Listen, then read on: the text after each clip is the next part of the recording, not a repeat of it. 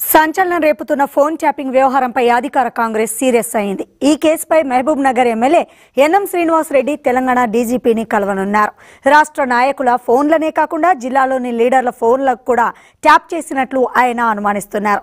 Phone ట్యాపింగ్కు సంబంధించి ఇంకా లోతైన విచారణ జరపాలని ఆయన డీజీపీని కోరనున్నారు.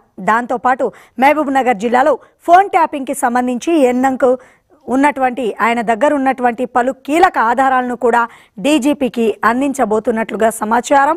ఇదే సమయంలో ఫోన్ ట్యాపింగ్ కేసు విచారణ పరిధి విస్తృతిని పెంచాలని డీజీపీకి వినతి పత్రం అందజేయనున్నారు. ఫోన్ ట్యాపింగ్ వ్యవహారంలో కీలకంగా ఉన్న ప్రభాకర్ రావుని వదలమంటున్నారు.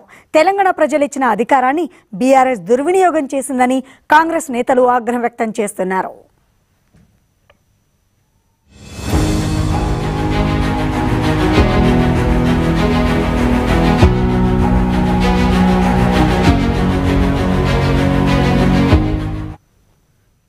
ఇదే అంశానికి సంబంధించి మరింత సమాచారం మా ప్రతినిధి కృష్ణవేణి లైవ్లో అందిస్తారు. కృష్ణవేణి ఫోన్ ట్యాపింగ్ వ్యవహారంపై కాంగ్రెస్ నేతలు ఏమంటున్నారు?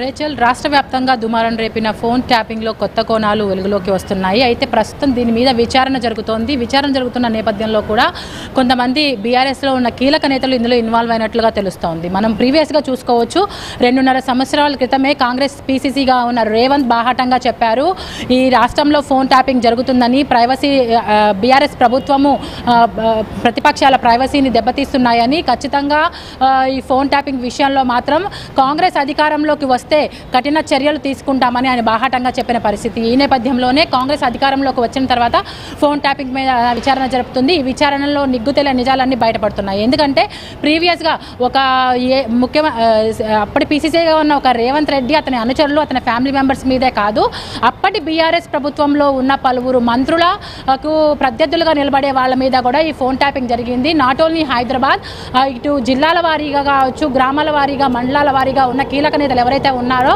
వాళ్ళ ఫోన్లన్నీ కూడా అక్కడ ఉన్న ప్రభుత్వ అధికారులను ప్రైవేట్ సైన్యంగా మార్చుకొని ఫోన్ ట్యాపింగ్ చేసింది బీఆర్ఎస్ ప్రభుత్వం అధికార దుర్వినియోగం చేసింది అని కూడా ఇందులో అయితే వస్తున్న వార్తలు అయితే మనకు వినిపిస్తున్నాయి. మరొక వైపు బీఆర్ఎస్కు సంబంధించి ఇందులో కీలక నేతలు ఇన్వాల్వ్ అయినట్లుగా తెలుస్తోంది. మరొక పక్క ఫోన్ ట్యాపింగ్కి సంబంధించి కొంతమంది అధికారులు అధికార అధికార దుర్వినియోగం చేశారు. కాబట్టి వాళ్ళు అప్ స్కాండ్లో ఉన్నారు. ఇక్కడ ఉన్న అధికారులు కొంతమంది ఫోన్ చేసినప్పుడు తాము హెల్త్ ఇష్యూస్ పరంగా మాత్రమే విదేశాలకు వెళ్ళామని తిరిగి వచ్చిన తర్వాత అప్పటి ప్రభుత్వం తమకు ఏదైతే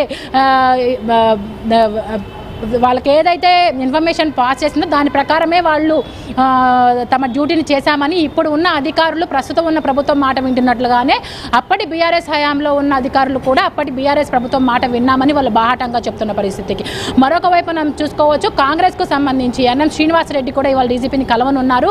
ఫోన్ ట్యాపింగ్కి సంబంధించి న్యాయ విచారణ జరగాలని ఇక్కడ ఉన్న సిఐడి కానీ సిబిఐ కానీ కేసును అప్పగించాలని ఖచ్చితంగా ఇందులో పెద్ద బీఆర్కి సంబంధించిన పెద్ద నేతలే ఇన్వాల్వ్ అయి ఉన్నారు. వాళ్ళకి శిక్ష పడాలని కూడా చెప్తున్నారు. ఎందుకంటే ఖచ్చితంగా ప్రైవసీ అనేది ప్రతి ఒక్కళ్ళ రైట్. దానిని కించ దానిని డిస్టర్బ్ చేసేలాగా కూడా బీఆర్ఎస్ ప్రభుత్వం బీఆర్ఎస్ ప్రభుత్వం పాల్గొనిందని దీనికి సంబంధించి కూడా ప్రీవియస్గా చూసుకోవచ్చు మనము.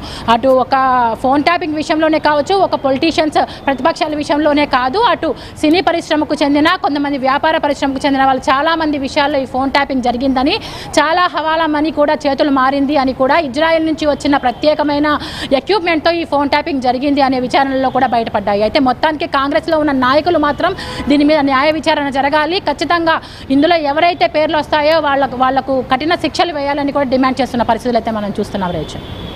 Right thank you Krishnaveni small break